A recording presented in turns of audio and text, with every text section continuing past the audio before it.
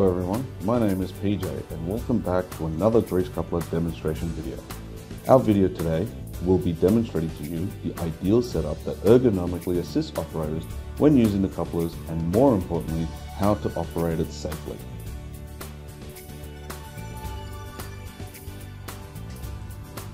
In our demonstration, we have a 3 quarter inch R2 hose fitted with a 1 inch female swivel. This may differ from site to site. This is then connected to a 1 inch straight swivel, which is needed for purely helping the operator ergonomically when using stiff R2 type hoses. After the swivel, it is then connected to a 45 degree adapter which plays an important role as not everyone uses this hose size and can also have many more additional fittings to adapt to the grease coupler.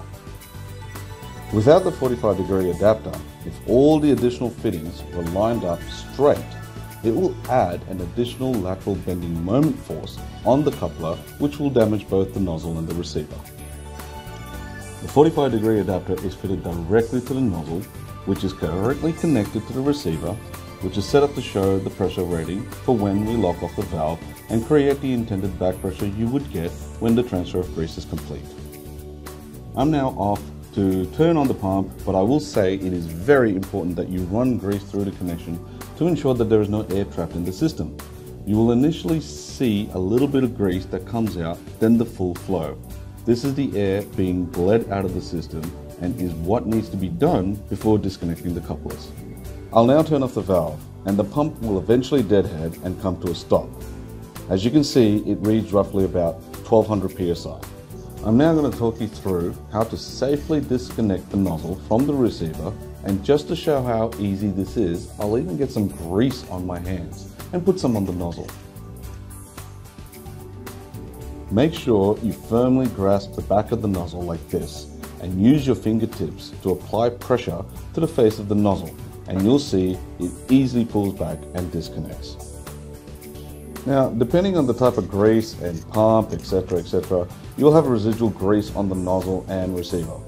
It's not just good practice to clean both thoroughly, but it also prevents any foreign contaminants getting into the system. Make sure it is wiped very clean, including the grooves of the receiver. Proving how safe it is to use these couplers, under pressure you can even see me push to pop it and it will not explode with grease.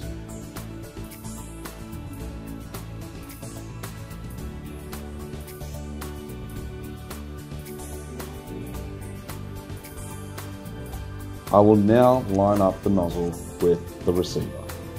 Now, whether you're using your right hand or the left hand, you need to make sure you firmly grip the back of the nozzle. This should fit in the crevice of the thumb and finger easily. Due to the setup I have right here, I will use my left hand. I'll line the nozzle up and push until the connection is made. Please note, if you are unsure of the connection, disconnect and reconnect to be absolutely sure. I will now turn on the valve and the flow of grease will commence.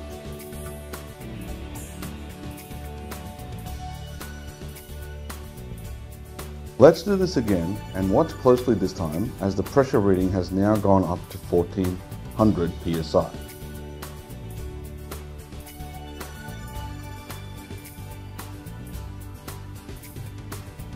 I'll get some more grease and wipe it all over the nozzle. Remember, using your fingertips, push back on the face of the nozzle and watch it disconnect easily.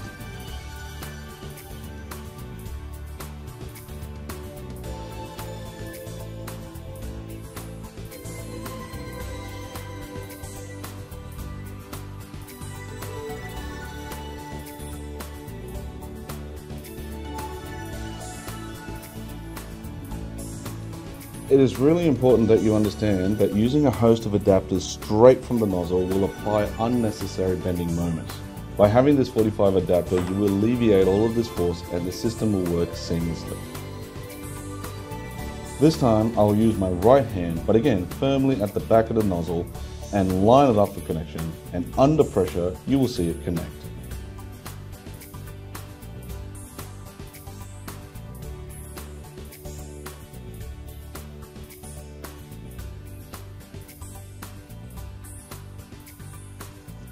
By using this example, you will not damage the couplers in any way and all the operators will be safe.